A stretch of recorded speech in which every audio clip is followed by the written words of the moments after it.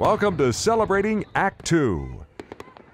Celebrating Act Two is the user manual for the second half of your life. Manny Pacheco with you late in the afternoon with the authors, this time Mindy Johnson, and she is the expert in uh, animation and women in animation, uh, and written a couple of books to prove it. Here at Hollywood Heritage, she's of course uh, showcasing her wor- her work. Mindy, thank you for being here with us. Oh, it's a great joy to be here and always a delight to come celebrate this amazing place. I have to tell you that your presentation was remarkably informative and entertaining. Tell us about some of the uh, the um, famous women who really were part of animation. There were so many. So many, but we don't know about them until now. We have a couple of places to find more about them, but there's so many remarkable women artists. They were all fine artists in their own right, but went beyond their work in animation. Some of the more notables, um, Mary Blair, of course, many people know her. She's her artistry is brilliant, stunning, and she really her use of color was the powerhouse secret behind many of the great animated classics out of Disney from the 1950s Alice in Wonderland, Cinderella, Peter Pan, and more. But we also have women behind the scenes that you may not know about, like Mary Weiser, who started the paint lab at Disney Studios. They were having so many problems with the very limited palette of paints. You would use paints you'd find from the local hardware store to paint your house, and they weren't necessarily blended properly for cel based animation. Well, Mary said, We can do better, and went and trained herself in chemistry and established the first and only paint lab in the world making paints exclusively for cel based animation, transforming the art form. Now, you also mentioned in your uh, speech or your presentation um, Marge Champion. Yeah, dear Marge, she was a dear friend. Sadly, we've just lost her not too long ago. But what few people realize, we know her, of course, from her great work at MGM and, and beyond as a beautiful dancer with her then husband Gower. But most people don't realize she actually got her start in animation. She was the live action reference model for Snow White, transforming that character into a believable uh, uh, form that we still know and love. But she also did um, the modeling, the reference modeling for the Blue Fairy in Pinocchio, as well as choreographed a few interesting characters in Fantasia.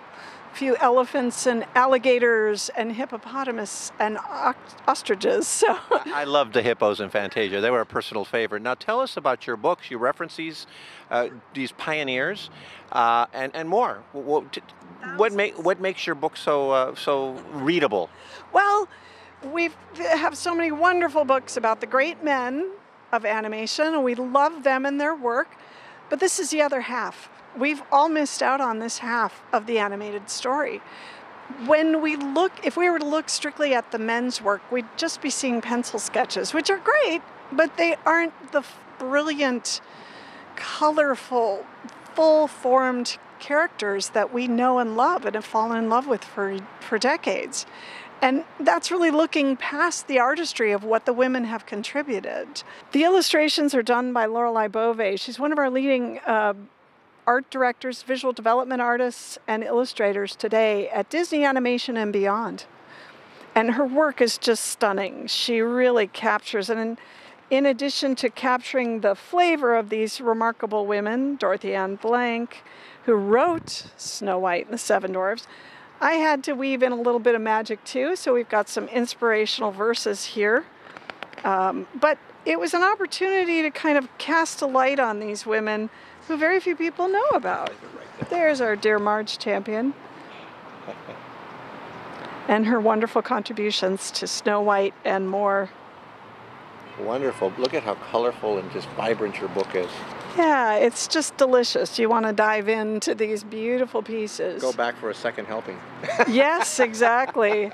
Um, and some of the fun, there's Mary Weiser, who developed the paint labs I at the love studio. the comparison to Marie Curie. Yes, well, this wasn't Betty Crocker's kitchen. A lot of people are like, oh, they're recipes. No, these were formulas. This was Madame Curie's lab. She really cultivated an incredible environment where it was all female chemists working on the paints.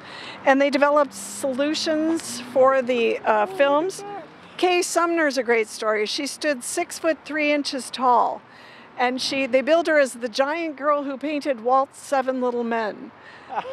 they had to build a special desk for her. But while she was working at Disney Studios, she lamented about not getting people to be able to look people in the eye because she always had to look down on and trying to find a date. Come on, it's tough enough at average height, trust me. But at six foot three, it was extra challenging. So she wrote an article that appeared in the paper in Los Angeles while she was working at Disney Studios. And within a matter of a couple of days, she had five people standing in her living room who were the same height. She could finally look them in the eye, and she reached out and realized she wasn't alone. So she started what was called the Tip Toppers Club, which was a, then a very big club here in Los Angeles, and they got covered by Life magazine. Soon she was getting calls from people all over the world saying, How do we start our club? We've got to meet more people our own height. So there is still today the International Tall Persons Club, started by Kay Sumner, and they give a scholarship in her name every year. I'm six foot four and a half, so I very Yes, well know the are. Tip Toppers Club. And and here's the other fun thing about Kay. With your height, you can imagine, um, California king beds are due to this woman. Wow. When she started this club, she would have to sleep diagonally on a double bed because that's all the larger beds were. She worked with manufacturers to begin to change our society because we don't all come in the same size. And it's an you know an important inspirational story and I wanted little ones or people of all ages to recognize that you know, That's right. we my come in different shapes and sizes. Your stories are remarkable. You have a great way of telling stories too. Thank you. It's been great fun. Well, then we got Mildred Rossi. She was the artist whose first monster was Chernabog uh, from Night on Bald Mountain, and actually one of the earliest women animators at Disney Studios. After she left Disney, she was also an actress and a model, and found her way to Universal Studios and was the designer behind the creature from the Black Lagoon, as well as the mutants and Wolfman, and designed many of the Universal monsters. But sadly, she got blacklisted. Somebody there wasn't too keen on the attention she was getting, and because she was a woman, they decided we should get rid of her. Sad, but it, important to get her story back in there. And her first monster actually was at Disney. This tiny tome will give you a good upper body workout. That's right. But this little treasure started, we thought it was going to be a charming little book. And uh, very quickly, I realized the avalanche of content that was about coming. And I called my editor and said, This cannot be a small book. And it really covers a hundred years, a century of celluloid history, cinematic history, Hollywood history, women's history, pop culture. Uh, everything is contextualized, so it's kind of a drive through experience, um, and it gives you the other half of our collected animated stories. Real pictures, um, actual photographs from the day. Absolutely. Oh, look at that. I love that picture. Blanche Sewell, who was MGM Louis B. Mayer's secret weapon, uh, was actually Walt Disney's uh, sister in law and helped to kind of encourage him on his storytelling and was even helping to get his Mickey and Minnie creations out there. So I take it from the very beginning Absolutely. of history, Yeah, of of, of Yeah, film history, because when you think about it, hand colorization on the images is essentially we go. early color in animation, going frame by frame. Sure. Let's see what we have So here. goes- Oh, there we go. Far beyond Disney, and gives you a full century of, of examining where women's roles were very early on in the industry. There we go. Get some. some Yes, there are a few men in here. Just a few. it's kind of the inverse of what is out there. Uh, but I wanted to also take a look at the women who had influence on Walt Disney as a young boy. And it turns out he was surrounded by powerful, strong, creative women who helped to shape him as a creative filmmaker and storyteller.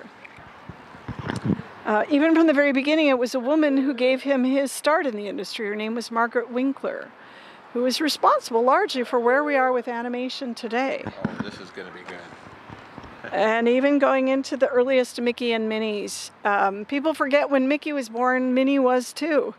So, um, but the evolution of the artistry, going from black and white, three or four shades of gray, into full color artistry. There, you can find Kay Sumner on the page. She's the tallest in the back.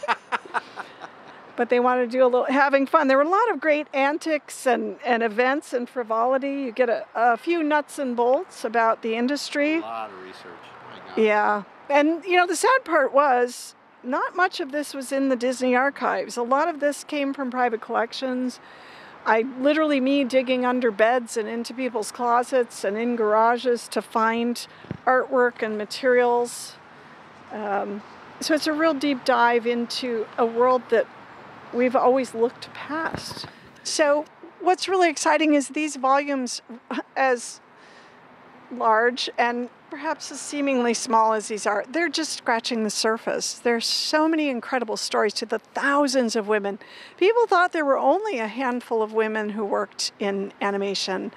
Turns out there were thousands. Thousands, right. And, and, each making incredible contributions. Unfortunately, Walt Disney liked having his name on there and leaving the animators uh, virtually anonymous, even even the men. So. And that was true of many studios. Um, it was a big deal to make the credits, but it was also very costly.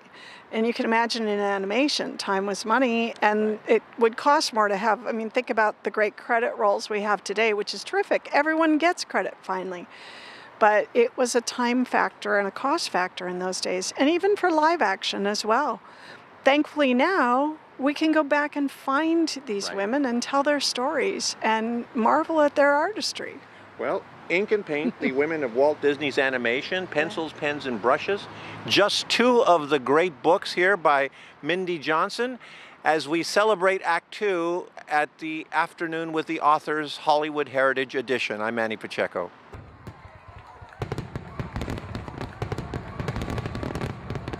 For more on Celebrating Act Two, visit our webpage, follow us on Facebook, subscribe to us on YouTube, and tell your friends. Celebrating Act Two is the user manual for the second half of your life.